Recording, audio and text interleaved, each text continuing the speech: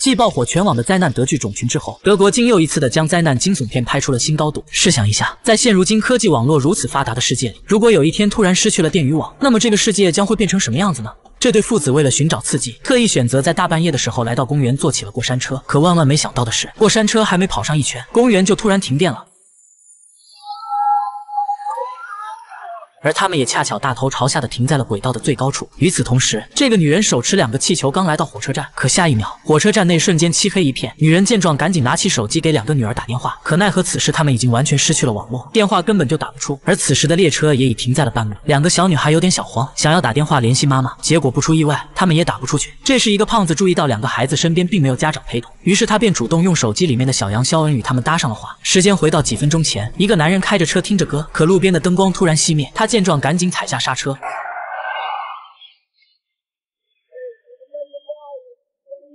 本以为他躲过了一场灾祸，可谁知下一秒。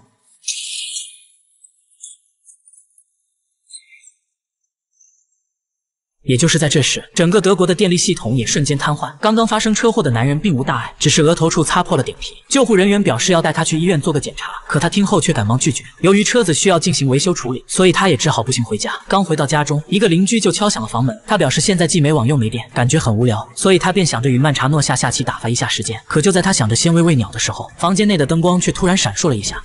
曼查诺见状，赶紧打开电表箱看了看，接着他拿起电脑对着键盘就是一顿敲。就在他按下回车键的那一刻，房间内的灯光也瞬间亮起。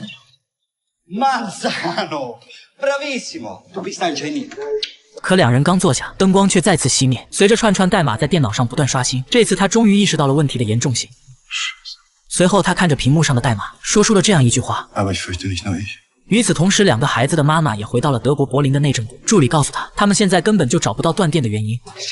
在交代好助理帮忙查一下女儿的列车现在的所在位置后，他便走进了高层会议室。领导啥也不问，直接大发雷霆：“我不管什么原因，也不管你们想什么办法，务必要在一个小时内恢复所有电力。”没办法，米歇尔只好硬着头皮答应了下来。可没一会儿，一个亚裔就走进了办公室，他很慌，因为现在不光是德国，就连法国、英国、意大利也接连受到了波及。米歇尔听后一脸懵逼，立即决定召开紧急会议。此时距离突然停电已经过去了三个小时，而过山车上的游客们也一直倒挂在半空中。消防队虽已前来营救，但如何将他们安然无恙的救下来，却又成成为了一个新的问题。一个女人有点等不及了，连忙解开安全带爬了出来。是的，她想要依靠自己的力量爬下去。面对下面消防队员的警告，她却充耳不闻。不出意外的话，意外是一定会来的。很快，她就两脚一滑掉了下去。此时，高层紧急会议已经召开，领导得知情况后一脸懵逼。德国电网本应安全可靠，怎么可能会出现这样突发的大规模停电呢？Stellen Sie sich das Stromnetz vor wie einen Blutkreislauf. Die Kraftwerke verteilen den Strom. Im ganzen Körper so, so wie das Herz. Und ist der Blutdruck plötzlich zu hoch oder zu niedrig, dann ist es auf einen Schlag dunkel. Sprechen wir jetzt von einem Infarkt oder sind wir schon tot? 米歇尔表示，现在的情况不容乐观，断电已经造成多起火灾和交通事故，成千上万的人被困在电梯和地铁里，即使是有备用电源，也只能维持四十八小时。如果超过四十八小时，那么这个世界的秩序就一定会大乱。可就在这时，一个眼镜男却走了进来，他介绍自己叫瑞斯，是内政管理部的部长。他在来这里之前已经去过电力集团，电力供应商对此持乐观态度。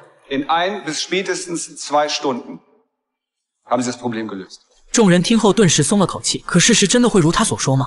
这边的曼查诺正在向邻居解释那串代码的含义。通过智能电表，电力公司能清楚的看到每家每户的用电情况。如果没付电费，他们就可以随时限电或者断电。而他刚刚看到的那段红色代码，则是一个断电指令，它就像一个秘密武器一样，可以让一个城市乃至一个国家的电力系统瞬间陷入瘫痪状态。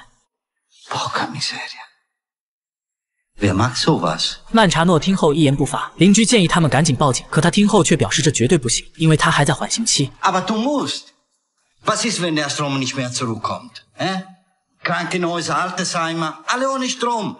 Da gibt es Tote. Carlo, ich rede nicht mit der Polizei. Manzano, woher weißt du eigentlich von den Guten? 曼查诺仿佛有什么难言之隐，不过最终他还是同意和邻居一起来报警。此时警局内已经人满为患，两人挤到人群后，赶紧对值班警说明了情况。这次停电根本就不是什么意外，电表已经被不法分子操控了。如果不引起重视，他就会像雪崩一样缓慢开始迅速崩塌。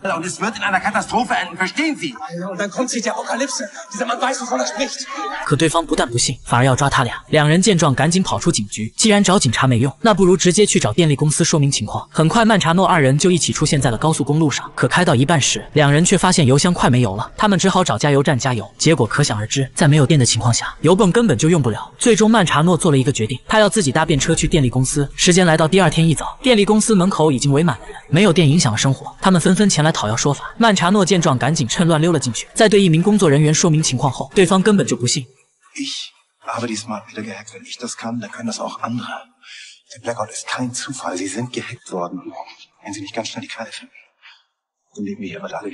工作人员听后直接沉默了，接着就把他带到了会客厅。可就在曼查诺表示自己想要喝一杯咖啡的时候，一架武装直升机却突然飞到了这里。他万万没想到，咖啡不但没等来，反而等来了大批真枪实弹的武装特警。